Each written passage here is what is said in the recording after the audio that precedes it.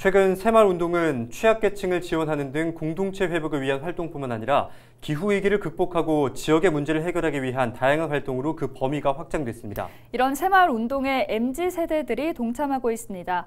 부산 지역 대학가에도 새마을 동아리가 생겼는데요. 차선영 기자가 보도합니다.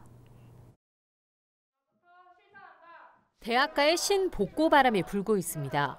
대학에서 새마을운동이 51년 만에 부활한 겁니다. 새마을, 즉 SMU 동아리를 통해서입니다. 과거 마을길을 넓히고 생활 환경을 개선하는 것에서 시작된 새마을 운동에 MZ 세대들이 적극적으로 참여하는 이유는 무엇일까? 옛 감성의 복고풍 문화를 현대에 맞게 재해석하는 MZ 세대들의 문화 등 사회 분위기가 한몫한 것으로 보입니다. 무엇보다 새마을 운동이 최근 기후 위기와 지역 문제를 해결하고 공동체 회복을 위한 다양한 활동으로 범위가 확장된 것도 이유 중 하나입니다. 동아리 활동을 하면서 그 새마을 운동이 젊어지고 또 대학생들의 그 창의력이 새마을 운동의 접목이 되면 질적인 발전이 있을 것으로 이렇게 기대를 합니다.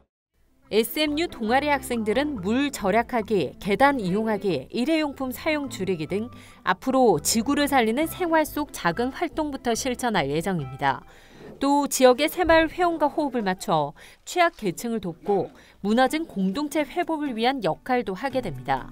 요즘은 아무래도 대학생들이 뭐 이기적이다는 말을 사회적으로 많이 듣는데 저는 그거에 좀 반대해서 이타적이고 다른 어, 도시나 농촌에서 농촌의 다른 이웃들을 보살필 수 있다 이런 마음으로 함께 살아가는 따뜻한 공동체를 만들기 위한 새마을 운동에 MZ 세대들의 참여가 이어지면서 새마을 운동도 새로운 전환점을 맞은 모습입니다.